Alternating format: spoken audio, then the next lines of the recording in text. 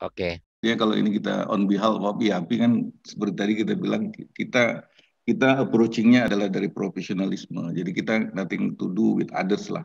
Kita intinya hanya menyampaikan bahwa secara best practices internasional nanti juga Pak Ramli mungkin akan sharing, Pak Pak Charlie juga akan sharing. Pengadaan itu beginilah. Nah, kira-kira gitu ya Pak Ipep ya. Betul. Nah, tapi kalau hanya di kalangan kita saja Iya sih, sudah kita setuju. Iya. Jadi jadi saya lihat ini Pak itu mungkin kita kalau kita mau nggak tahu lah apakah kita diskus secara ini ke LKPP atau langsung mungkin teman-teman bisa.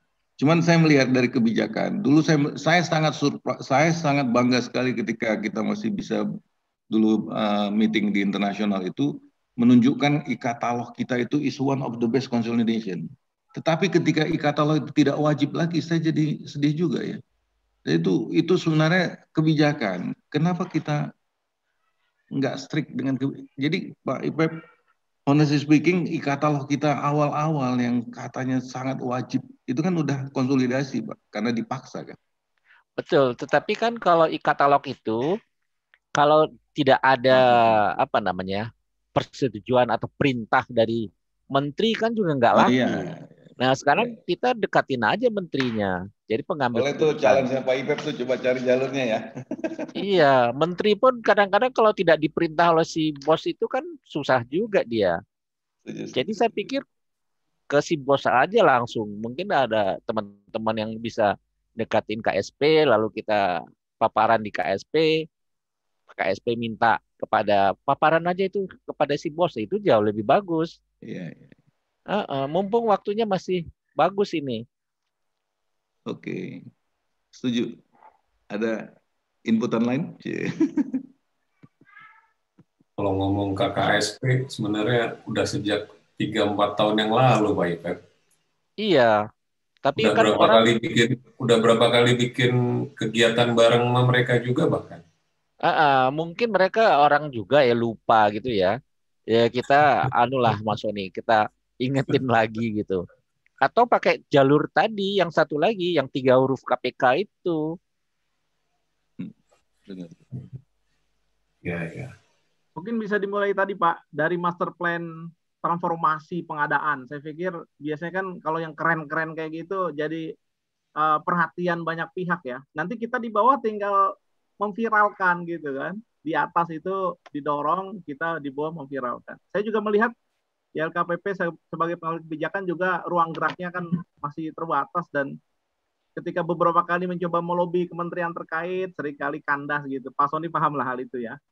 Jadi bukan karena sebenarnya begini. Kalau nggak mau dari LKPP ini kan juga yang perlu kita support semuanya itu. Iya, artinya kalau menurut saya kita perlu paparkan bukti-bukti. Ada yang tadi pengalaman dari oil company atau pengalaman dari Bu Eka yang penting kan sekarang bukti. Bukan hanya paparan lalu nggak ada bukti. Nah, oil company tadi ada bukti. Lalu Bu Eka ada bukti. Lah kita kurang apa lagi bukti coba? Mereka yeah, itu yeah. hanya butuh bukti. Itu aja. Bukti yeah. yang didukung oleh ini tadi, teori-teori tadi. Kalau Anda lakukan teorinya ini ini, buktinya ini. Ya, ya, ya. Hasilnya ini. Lebih lebih confident ya Pak IPB ya. Betul. Ya. Termasuk yang jagungnya Pak Fadel itu bagus sekali. Ya. Konsep Kairetsu tadi Pak, kalau disampaikan ke Kementerian Koperasi, saya pikir dia pasti direspon dengan baik tuh Pak. Keren banget tuh Pak. Yang Toyota tadi itu. Iya Pak. Ya. Jadi kalau kalau saya lihat ada ada tulisan saya itu nanti boleh dibaca ya tentang uh, bagaimana membangun UMKM melalui sistem pengadaan. Karena saya sempat bicara dengan ketu, eh, koordinator UMKM di salah satu di Pangandaran waktu itu. Itu sedih juga itu. Jadi mereka itu adalah eh, penyedia ini Pak pengusaha eh, apa batu bata dengan tambang C itu Pak yang pasir-pasir itu. Nah, itu di depannya ada proyek pemerintah nilainya 255 miliar buat rumah sakit tetapi pasirnya diambil dari tempat lain. Nah itu kalau ada di katalog lokal kan tinggal satu surat bupati mengatakan semua kontraktor pemenang lelang di daerah ini semua material yang ada di katalog beli di katalog selesai kan? Mas Hairul. Mas Arif Rahman kan masih di kementerian kan? Ya, itu justru saya itu dengan beliau waktu itu. Memang ya. kita memang harus follow up itu.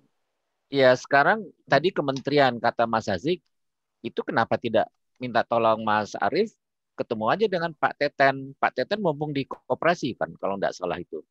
Ya, masih, Pak, masih. Ah, itu kita itu bisa paparan. Pak, Pak, Pak Ketum udah dapat undangan itu dari Pak Arif.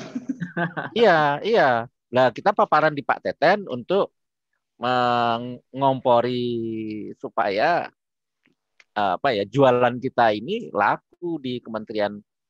Lalu Pak Teten tinggal bicara aja dengan di atasnya lagi. Yo.